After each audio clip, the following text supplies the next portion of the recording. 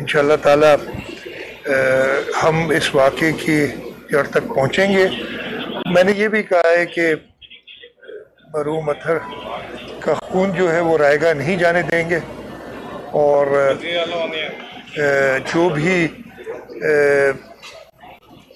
हमने स्टेप्स लेने ताकि इस किस्म के वाक़ दोबारा ना हों, वो लिए जाएँगे। इस सिलसिले में मैं ताउन की दरख्वास्त भी करूँगा हर एक से। हमारे पास माशरे के अंदर, या हमारे माशरे से लोग निकलते हैं। अच्छे बुरे किस्म के लोग हैं।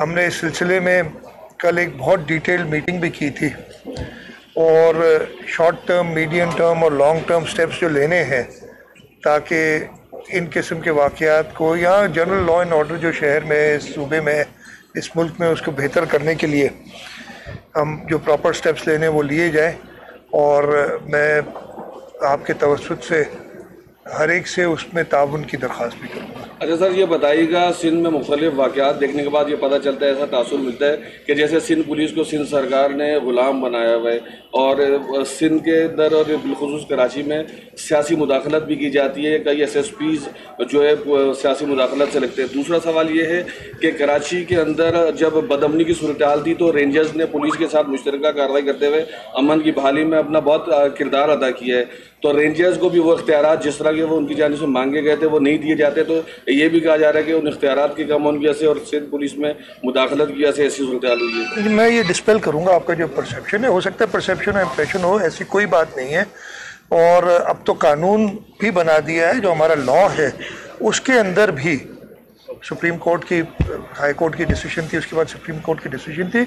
और हमारे कानून में बड़ा क्लियर लिखा गया है। परसेप्शन अपनी जगह पे सिंध अगेन मैं ऐसी जगह पे आया हूँ, कोई और चीज़ नहीं कहना चाहूँगा। सिंध पुलिस को हमने कभी इस्तेमाल नहीं किया अपने मुखालिफों को क्रश करने के लिए। आपने इसी शहर में देखा, एक जमात ने 28 दिन धरना किया, दूसरी जमात ने 6-7 दिन धरना किया। हाँ एक मसला हुआ था, और वो अगेन इशू पीएसएल की वजह से एक आ गया था और उस पर मैंने उसी वक्त भी माजरत की थी कि इस तरीके से एक्शन नहीं लेना चाहिए था। तो हम कभी ये काम नहीं करते तो सिंध हुकूमत क्यों चाहेगी? किस वजह से मैं चाहूँगा कि मुझे ऐसे जगहों पे जाना पड़े और ऐसे वाक़यात जो कि दिल दहला देते हैं, वो हों। ये परसेप्शन गलत है, ऐसा नहीं है। इश्यूज़ अभी इस सिलसिले में भी आपको जो रिज़ल्ट सामने आएँगे तो पता चलेगा कि वाक़यात के पीछे क्या चीज़ है? इसमें कैसे एक सेकंड में ख़त्म अच्छा सर ये ये खत्म तो कर ये बताइए एक सेकंड मैं इनका जवाब दे दूँ पूरा जो उन्होंने कहा? दूसरा आपका एक पार्ट हाँ वो भी मैं जवाब दूँ सर सारा। तो ऐसा परसेप्शन गलत है और इन ताला हम तो और स्ट्रेंथन करने के लिए उनकी कैपेसिटी बढ़ाने के लिए हम कोशिश करें। बाकी रेंजर्स ने कोई ऐसे इख्तियार और मांगे नहीं है। हमारा रेंजर्स के साथ बढ़ा और इस शहर के अमन अमान को बहाल करने में हमारी ये शहर, वही शहर है जहाँ खड़े हैं, जो आज से सात आठ साल पहले छठा सबसे ख़तरनाक शहर दुनिया का कहा जाता था। इस वक्त उसका नंबर 120 है 100 मुझे लेटेस्ट नहीं पता, एक- 120 से ऊपर है। ये करंट एक सिनेरियो पैदा हुआ है स्ट्रीट क्राइम का, जो कि बिल्कुल जो है तशवीशनाक है और उस पर हमने स्टेप्स लेने चाहिए। लेकिन कोई ऐसी चीज़ नहीं कि हम अमन अमान बहाल करने के लिए किसी को कोई इख्तियार नहीं दे रहे जिस वजह से नहीं हो रहे ऐसी ये ये इंप्रेशन बिल्कुल गलत है। शाह साहब ये बताइएगा कि आप एक करने से बात शाह साहब एक छोटा सा सवाल है कल उसके बाद आपने आप लोग। और उसके अंदर सजा और जजा का भी एक फैसला किया। ये सजा और जजा का जो फैसला है सिर्फ़ एस एच ओ लेवल तक ही क्यों है? अगर एक एस एच ओ लगता है सिर्फ़ उसी की ज़िम्मेदारी क्यों है? उससे ऊपर भी कुछ अफसरान उसके हैं डी एस पी है एस एस पी है एस पी है एडिशनल आई जी कराची तो वो ये सजा और जजा का अमल वहाँ तक क्यों नहीं पहुँचता? सबके अमल उधर तक पहुंचेगा और यही चीज़ हमने जो इंटरनल अकाउंटेबिलिटी है पुलिस की। उन सब के लिए कहा है बड़ी देखें ये वेरिड किस्म के एक जनरल परसेप्शन आप सबकी भी है क्योंकि एस एच ओ को तो पता होता है कि उसके इलाके में क्या क्राइम हो रहा है। इस वजह से वहीं से शुरू होता है। सर लेकिन आपकी बात काट रहा हूँ कि एसएचओ अगर रहेगा दो महीने रहेगा मैं खत्म कर लूँ ना? मैं खत्म कर लूँ? के अंदर एस मैं- क्या करेगा मैं खत्म कर लूँ? चेंज हो जाता मैं खत्म कर लूँ? और उसी सिलसिले में कल एडिशनल आईजी साहब ने अपनी अकाउंटेबिलिटी के लिए भी एक फार्मूला दिया है। एक तरीका कार दिया है। जो उधर से शुरू होता है और नीचे एस एच ओ तक या इवन सिपाही तक जाता है, जो चौकी इंचार्ज है, उन तक जाता है कि कैसे असेस करेंगे। हम उसको फॉलो करेंगे तो ऐसा कोई नहीं है कि सज़ा से या जजा से कोई भी आउट होगा। और ये ऐसे एक्सट्रीम टाइम्स है कि जिन्हें हमें, और मैंने ऊपर बात भी की थी जब हम बैठे थे कि कुछ ऐसे भी फैसले हैं जो कि चाहे मुझे पसंद ना हो इस वक्त करने के लिए और इसमें कोई सियासी बात नहीं है इसमें ज़्यादा दूसरे एलिमेंट्स हैं आप लोग समझते हैं कोई सियासी बात होगी उनको भी हमें लेना पड़ेगा ताकि हालात बेहतर हो। सिर्फ़ साहब ये बताएँ कि ये आए बाए के सवाल छोड़े जिनके घर पर आप आए हैं जिनका नुकसान हुआ है उनसे जो आपकी बातचीत हुई है उसके नुकसान को तो एक तो अल्लाह सा ही पूरा कर सकता है वो बंदा नहीं आ सकता। बाकी सिंध हुकूमत इनके लिए क्या करे? दूसरी बात ये कि सवाल मैं रिपीट करूँगा। कि जिनके घर पे आए उनके भाई के कातलों तक ये इतलात है कि पुलिस पहुँच गई। आप डिटेल ना बताएँ, मगर ये तो कुछ आसरा तो थे मैं सबसे पहले तो इधर आया था उनका दुख बांटने कंडोलेंस करने के साथ। इन ताला सिंध हुकूमत इस केस में भी और हर केस में, जो भी रियासत के तौर पे, रियासती एक सतून के तौर पे जो हमारा फ़र्ज़ है वो पूरा करेगी, उसकी डिटेल्स में जाना या कोई फ़ायदा नहीं है। जो आपने दूसरा सवाल किया यस प्रोग्रेस हुई है। लेकिन जब तक हम तय तक पहुँच ना जाए हमको कोई बात करना मुनासिब नहीं है। अभी कुछ दिन पहले शेख रशीद ने प्रेस कॉन्फ्रेंस किया। उन्होंने कहा है कि मुराद अली शाह अगर चाहें तो थानों में भी रेंजर बिठाने को तैयार है, क्योंकि कराची में अमन अमान और की सूरत खराब है।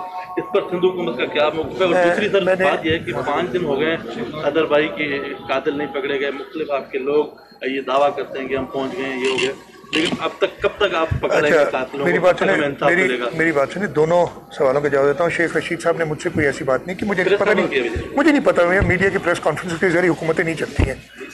अनफॉर्चुनेटली ये तरीक़ाकार हो गया लेकिन इस तरीके से हुकूमतें नहीं चलती हैं कि मीडिया की प्रेस कॉन्फ्रेंसेज हों और उसमें ये बातें हों, अगर मैं और इससे ज़्यादा नहीं कहूँगा दूसरा अगेन देखें ये कहना कि पाँच दिन ये तो सबसे ज़्यादा तो इनके दिल पे गुजर रही होगी ना, इनकी फैमिली के दिल पे गुजर रही होगी कि जिन्होंने ये जुल्म किए वो याद है हम सब उसमें इनका दुख बांटने के लिए इधर आए।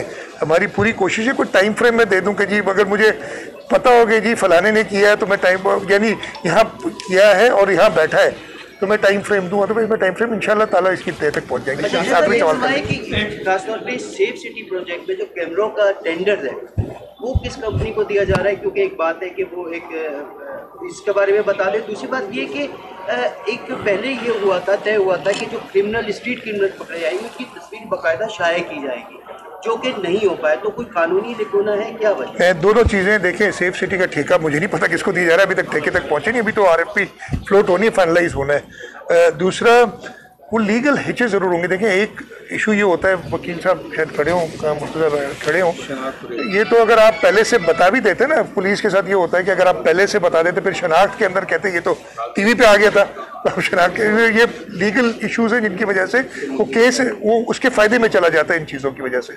तो ये सारी चीज़ें देखते हुए कि हम, कल हमने जो डिस्कशंस की हैं, उसमें कुछ रिपीट क्रिमिनल्स जो होते हैं उनको ट्रैक करने के लिए, कोई सिस्टम बनाने के लिए हम शायद कानून साजी की तरफ़ जा रहे हैं। दूसरा, हम कोर्ट से भी दरख्वास्त करेंगे और उसमें अगर कानूनी कोई अमेंडमेंट्स करनी हुई कि रिपीट क्रिमिनल्स की बेल जो है, वो ज़रा मुश्किल हो जाए या ना हो, ताकि वो फिर हमने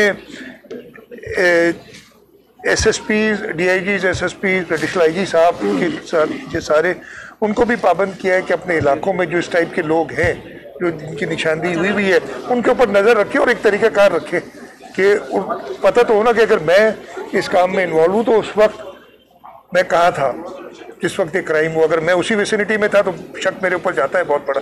तो इस टाइप की चीज़ें हम कर रहे हैं। एक सवाल ये है कि आखिर ऐसी क्या वजह है? हिकमत अमली मुकम्मल तैयार होती रहती है। मुख्तलिफ़ टाइम पे लोग इस तरह शहीद होते हैं। अभी हमारे साथी शहीद हुए मुताद पुलिस एहलकार शहीद हुए हैं। कांस्टेंट बेसिस पे सीसीटीवी वारदातों की आ रही है। तो क्या हिकमत अमली क्या प्लानिंग का फ्लॉ है कि कामयाबी नहीं हो पा रहे? हर एक करते हैं आप बिल्कुल एक्टिव होते हैं। आप एक्शन लेते हैं लेकिन रिज़ल्ट नहीं आ रहे। नहीं नहीं रिजल्ट्स आए हैं। मैं एक कहूँगा एडिशनल आई को, होम डिपार्टमेंट को कहूँगा, जो ये स्ट्रीट क्राइम्स इतने हुए कितने डिटेक्ट हुए, कितने पकड़े गए, कहाँ तक पहुँचे तो ऐसा नहीं कि रिज़ल्ट, वो अनफॉर्चुनेटली एक भी नहीं होना चाहिए। इशू ये है कि होना नहीं चाहिए, उसकी डेटरेंस हमें प्रॉपर ट्रैक डाउन करना एक हद तक कामयाबी भी हुई है गैंग्स भी पकड़े गए हैं, जिनकी वजह से है कहीं कमी भी आई है, उसकी वजह से फिर कहीं और उसके रीजंस जो है ना, ये स्ट्रीट क्राइम के, मैं अगेन मैं ब्लेम के, मैं कहता हूँ तो लोग उसको दूसरी डायरेक्शन में दिया तो मैं ब्लेम किसी के ऊपर नहीं डाला। इसकी जो वजूहत है, उनको भी एड्रेस करना है।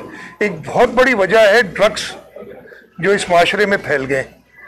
और उसके लिए भी कल भी हमने एक फैसला किया है, वो अगेन अकेली सिंध हुकूमत उसको नहीं मैनेज कर सकती। हमें पूरे मुल्क की जो है हुकूमतों को उसमें साथ मिलके, और मैंने बड़ी कोशिश की और हो रही है उस पर काम हो रहा है, लेकिन अनफॉर्चुनेटली वो अभी तक कंट्रोल नहीं हुआ और ड्रग्स की वजह से ये पेटी क्राइम बढ़ रहा है। आपका ये सब अग्री करते हैं। इकोनॉमिक सिचुएशन जो मुल्क की खराब तर होती चली जा रही है, उसकी वजह से भी पेटी क्राइम बढ़ रहा है। तो ये कहना कि कामयाबी क्या वजह नहीं हो रही? मेरे ख्याल दुरुस्त नहीं है। परसेप्शन अनफॉर्चुनेटली जो बनती है। मैं कल जो बात हुई थी, मैंने सारा पिछले आठ, दस साल का हमने डेटा देखा। कई ऐसी बार जब जो नंबर्स हमें दिखाते हैं कि सिचुएशन ज़्यादा खराब है, हमारी परसेप्शन सही होती है। लेकिन कई बार ऐसा होता है कि नंबर्स बेहतर होते हैं लेकिन एक आध इंसिडेंट की वजह से परसेप्शन खराब हो जाती है। अब परसों या दो दिन पहले का वाक्य की कुरंगी क्रॉसिंग से सौ लोग। वो कहाँ से नंबर आए मुझे नहीं पता लेकिन मैं नहीं करूँगा ना रिफ्यूट में आप कहेंगे कि जी वो सौ नहीं थे चले दस थे लेकिन दस भी नहीं होने चाहिए।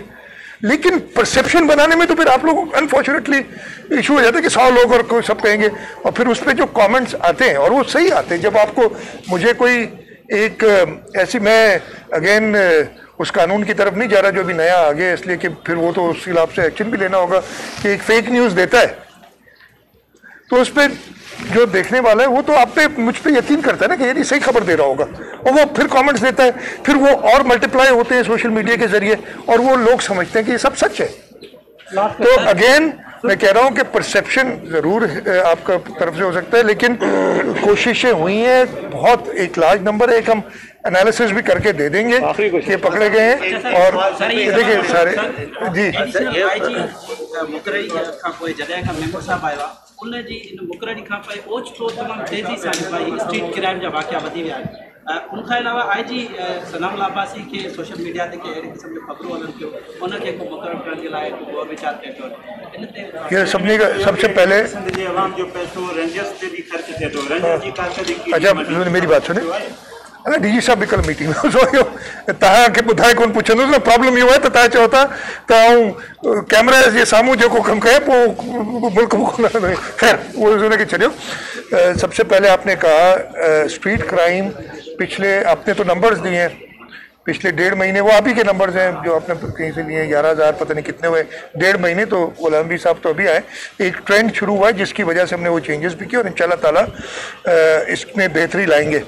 सेकेंडली मैं फिर आप लोगों की मीडिया से सुनता हूँ फिर मैं वही तो कहता हूँ, फैसले आप लोग कर लेते हैं, पहले। लेकिन वो फैसले गलत होते हैं और पूरे नहीं होते फिर आप कोई और स्टोरी बना देंगे कि जी फलाने ने मना कर दी मुझे पता भी नहीं है इस चीज़ का। अच्छा अच्छा ये बता दीजिएगा अभी अभी आखिरी सवाल आखिरी सवाल है। आखिरी सवाल है पुलिस अभी तक जो पुलिस माइक माइक केड़ी माइक